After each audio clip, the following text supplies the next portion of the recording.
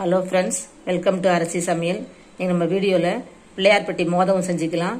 அதுக்கு நான் வந்து ஒரு கப் பச்சரிசி ஒரு கப் வெல்லம் கால் கப்பு தேங்காய் கால் கப் பாசிப்பருப்பு கால் ஸ்பூன் ஏலக்காய் தூள் வச்சுருக்கேன். நெய் கொஞ்சமாக போதுமான அளவுக்கு.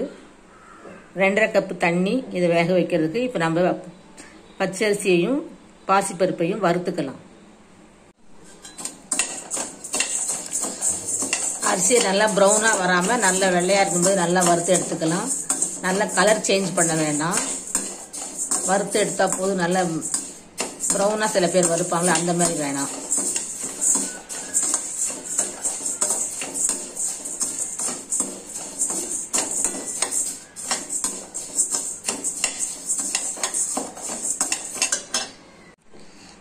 அரிசி நல்லா வறுத்தாச்சு. இப்போ நம்ம பாசி பருப்பை வறுத்துக்கலாம்.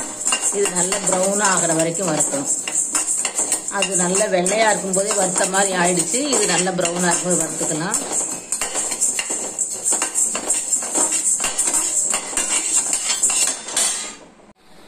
பாசிப்பருப்பு வறுபட்டுருச்சு. இப்போ நம்ம ஆற வச்சு மிக்சியில் அரைச்சிக்கலாம். பவுடராக அரைச்சிக்கலாம். கொஞ்சம் திரு திரியாக இருக்கட்டும்.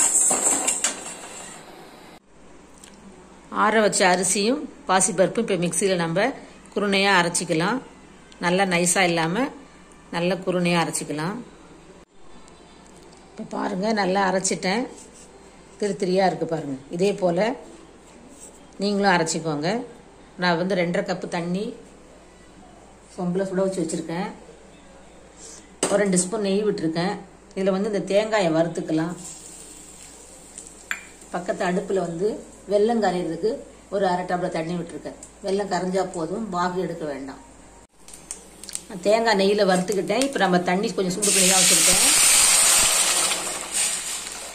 ரெண்டரை கப்பு தண்ணி வச்சுருக்கேன். ஒரு கப் அரிசிக்கு ரெண்டரை கப்பு தண்ணி. நான் ஏற்கனவே சூடு பண்ணியிருக்கிறேன். கொஞ்சம் லைட்டாக ஆறிடுச்சு. இன்னும் லேசாக சூ சூடாகிட்டோம் அப்படியே நம்ம மாவை போட்டு கிண்டிக்கலாம். இப்போ வந்து இது கரைஞ்சிடுச்சு முக்கால்வாசி இப்போ வடிகட்டிக்கலாம். இப்போ ஏலக்காய் தூள் போட்டுக்கலாம். நம்ம உடச்சி வச்ச அரிசி குருணை போட்டுக்கலாம். அரிசியும் பாசி பருப்பும் சேர்ந்து போட்டுக்கலாம். இப்போ சிம்மில் வச்சுட்டு நல்லா கலந்துக்கலாம். கட்டியாயிடும் இப்போ நம்ம அரை டம்ளர் தண்ணியில் வெள்ளத்தை கரைய விட்டுருக்கோம். இப்போ நம்ம நல்லா கெ கிளறிக்கலாம். கட்டி இல்லாமல் கிளறிட்டு நல்லா மூடி வச்சுக்கலாம். நல்லா கிளறிட்டேன். ரெண்டரை கப்பு தண்ணி சொன்னேன். மூணு கப்பு தண்ணி ஆச்சு. திரும்ப நான் கொஞ்சம் ஏற்கனவே சுட வச்சு வச்சுருந்தாலும் அதை எடுத்து ஊற்றிக்கிட்டேன் ஏன்னா நல்லா குருணை அதில் தண்ணி இழுத்துக்கும். வெள்ளத்தில் நீங்கள் வந்து அரை கப் தண்ணி விடுங்க. அந்த வெள்ளம் தண்ணி இழுத்துக்குச்சு. இப்போ ஆறுன பிறகு நம்ம உருண்டை பண்ணி இட்லி தட்டில் வச்சு அவிச்சிக்கணும். இப்போ ஃபஸ்ட்டு இதை ஆற வச்சுப்போம்.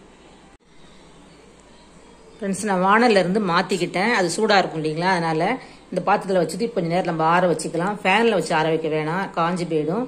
கொஞ்சம் கிச்சன்லேயே இருக்கட்டும். அதுக்கப்புறம் நம்ம கையில் லேசாக எண்ணெய் தொட்டு கையில் ஒட்டும் போது உருண்டை பண்ணி இட்லி தட்டில் வச்சு அவிச்சிக்கலாம். ஒரு பத்து நிமிஷம் அவிச்சா போதும். சூப்பரான பிள்ளையார்பட்டி மோதகம் ரெடி ஆகிடும் இப்போ வாங்க இதை நம்ம ஆறின பிறகு உருண்டை பண்ணிக்கலாம். ஃப்ரெண்ட்ஸ் எல்லா உருண்டையும் பண்ணியாச்சு. ஒரு இருபத்தஞ்சி உருண்டை வந்திருக்கு. உங்கள் கைக்கு கொஞ்சம் பெருசாக பண்ணிங்கன்னா ஒரு இருபது உருண்டை வரும்.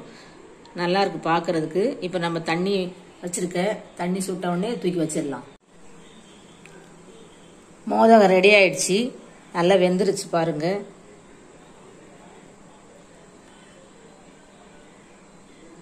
சூப்பராக இருக்குது நீங்களும் இது மாதிரி செஞ்சு பாருங்கள் சங்கடகர சதுர்த்தி அன்னைக்கு கூட செஞ்சுக்கலாம் இதை. நீங்கள் விநாயகருக்கு வேண்டி இருந்தால் கூட இது மாதிரி பூஜை ஆரம்பிக்கும் போது முடிக்கும் போது இது மாதிரி செஞ்சுக்கலாம். எல்லாருக்கும் இது மாதிரி செஞ்சு பாருங்கள் நன்றி வணக்கம்.